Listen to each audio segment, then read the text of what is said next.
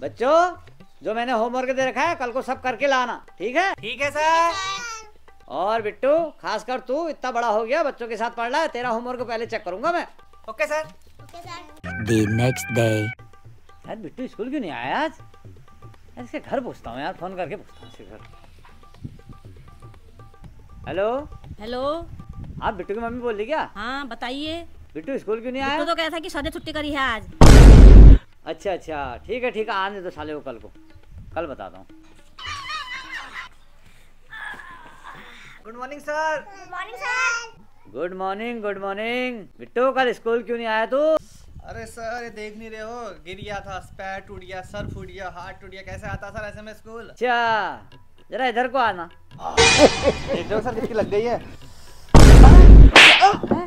कल तेरी मम्मी को फ़ोन किया था मैंने घर में। छुट्टी कह रहा था ना स्कूल में छुट्टी। साले छोटे बच्चों को देख इस साल और होगा तू फेल आह, साले मुर्गा बन मुर्गा बन बेटा।